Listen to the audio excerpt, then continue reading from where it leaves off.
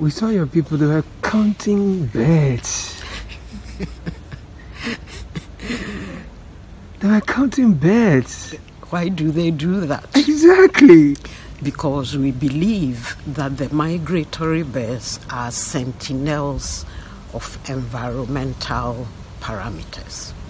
They migrate long distances from, say, Greenland all the way to Ghana and they pick up cues in the environment and changes in a habitat will impact on the bird population.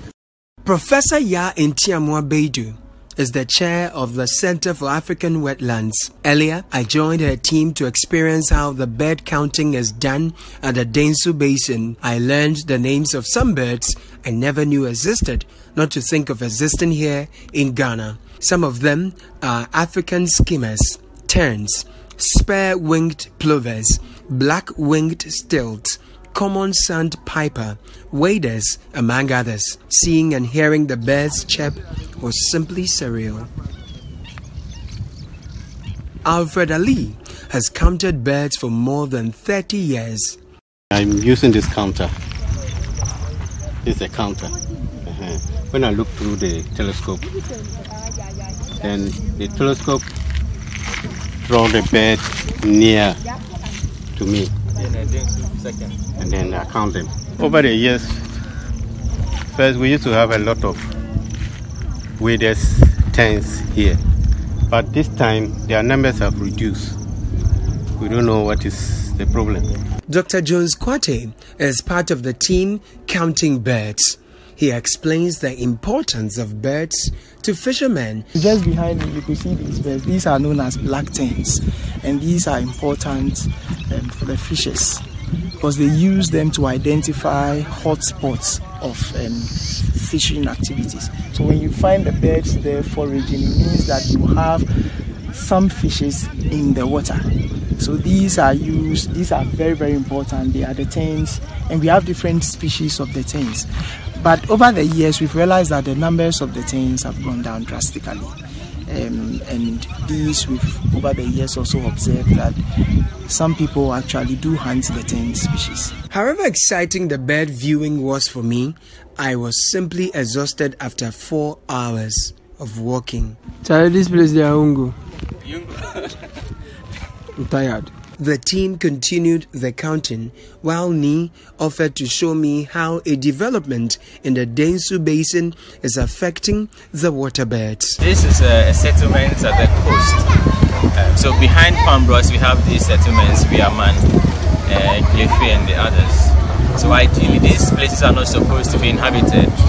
But then we have some people who were here originally and then there have been other squatters or settlers that have moved in as well. So this is a whole community on its own. Riaboman is a slum built in water trapped between the Densu Delta and the sea. The developments are scattered and unplanned. All it takes is a little shower and the township is submerged. But more structures are still under construction the roads are impassable. But Jonathan Tete has lived here for five years and tells us how they get by.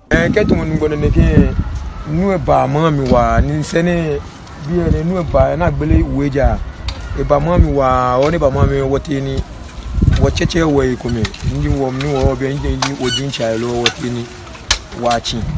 wotini wacheche wa wo wo wotini wachi ke saki ke shaji ke libya ke o ke o sana anya wa fi gota ke libi o ke bi ke dingo pale ke gba wona Not all human activities are a danger to the birds, like these salt ponds. Dr. Jones explains. Wherever you have the salt ponds, it's like you have a collection of water. You could have some fishes in the and the birds feel that it's safer to forage in such areas. So these ones are okay. But the negative anthropogenic activities could be related to wood cutting or firewood collection. The most important one here is development for um, residential facilities. You know, a wetland is actually naturally like a sponge that helps to control flood. So whenever there is flood, it holds up the water and discharges it gradually into the sea. But the more you build closer to the wetland, reducing the floodplains, the areas where it's supposed to contain the water, then the very core area where you are supposed to have, um, let's say, the ecological activities is being affected. However, the negative ones are even more devastating, threatening Ghana's five coastal Ramsar sites. This trend, Professor Ntiamoa Baidu argues, hasn't always been so. You have a place like Sakumo Lagoon, which was considered sacred by the people of Tema New Town. There is one species of heron, the black heron, that occurs in Sakumo. And because that species was protected by the people through their beliefs, it was a taboo to kill the black heron.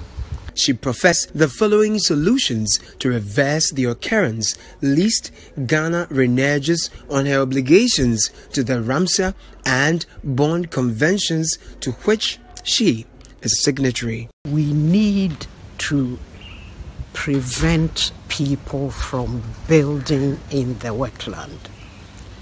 We need to prevent people from directing sewage from their homes into the wetland.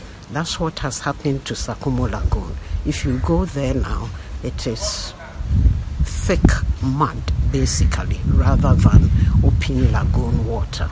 And we need to empower the wildlife division to be able to manage the wetlands. They are the agency responsible for managing uh, the Ramsar sites in the country.